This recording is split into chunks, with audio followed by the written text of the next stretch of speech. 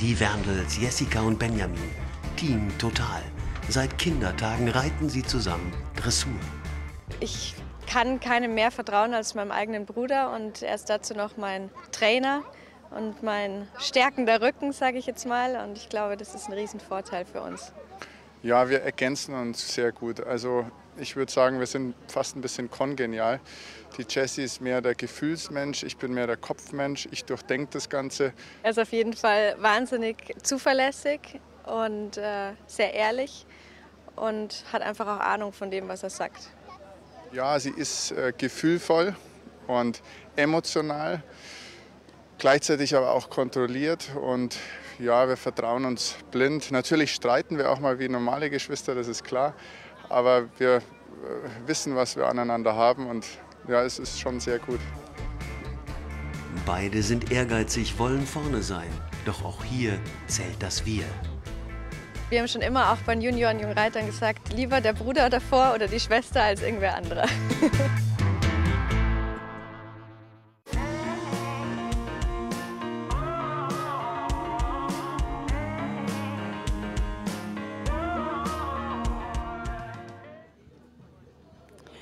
Er ist der Kopfmensch und sie der Gefühlsmensch und sie steht jetzt neben mir. Jessica, ganz toll, dass Sie ein bisschen Zeit für uns haben. Wir haben gerade gehört, Ihr Bruder ist Ihr stärkender Rücken. Das klingt ja wirklich gut. Zugleich Ihr Trainer ist ja auch eigentlich, glaube ich, immer dabei, wenn Sie Turnier reiten. Wenn er mal nicht dabei ist, sind Sie dann nervöser als sonst?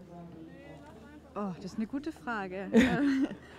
Ich fühle mich auf jeden Fall sehr sicher, wenn er dabei ist. Aber nervöser würde ich jetzt nicht sagen, weil wir ja doch auch, wenn er nicht dabei ist, immer kommunizieren und er ist mindestens am Bildschirm, wenn er nicht dabei sein kann. Und wir telefonieren sofort danach, wie er es gefunden hat und wie mein Gefühl war. Und ja, es ist schon toll, dass wir uns so gut verstehen und immer auch austauschen.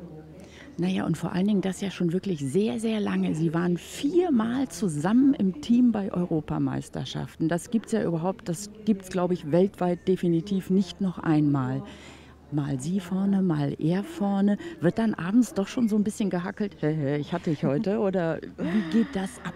Nee, eigentlich war das schon immer erstaunlich anders, weil wenn einer schon mal gut geritten hat, war der andere schon mal beruhigt, so quasi, der hat schon mal die Familienehre gerettet. okay. Also es war wirklich gar nicht so, dass wir da unbedingt den anderen immer schlagen wollten. Es war natürlich cool, gerade wenn es mal abwechselnd war. Das hat natürlich so ein bisschen angefeuert, mhm. den anderen, dass er sich noch mehr anstrengt. Aber es war immer positiv. Also es war nie so, dass man dem anderen das nicht gegönnt hätte oder sich geärgert hat. Es war immer eher so, ja lieber der Bruder davor oder die Schwester davor als irgendjemand anderer. Sie arbeiten zusammen. Sie haben einen tollen Dressurschall. Sehr idyllisch kann man die Berge sehen, bin ich immer ein bisschen neidisch. Sie arbeiten jeden Tag zusammen. Sie sind am Wochenende zusammen. Ganz echt, jetzt, er hört es ja nicht. Geht man sich auch manchmal auf den Wecker? Ja, klar. Also, ähm, aber lustigerweise, wenn wir mal Meinungsverschiedenheiten haben, dann ist es meistens, wenn wir irgendein Pferd zusammenarbeiten und mein Gefühl sagt das und er meint aber, das muss jetzt so sein oder umgekehrt. Und sein Kopf sagt ja, das. Ja, genau, sein Kopf sagt das oder wenn ich ihm zu, zuschaue. Ähm, und dann trennen wir uns so beim Reiten, auch wenn ich dann mal auf die Rennbahn gehe und er bleibt am Platz alleine, wenn, wenn er das nicht annimmt, was ich ihm jetzt da sage oder umgekehrt. Und lustigerweise ist es beim nächsten Pferd aber schon wieder gut, weil er dann wieder mein Auge möchte oder ich sein Auge möchte und dann passt. Es geht meistens wirklich um die Sache. Und das ist auch gut so.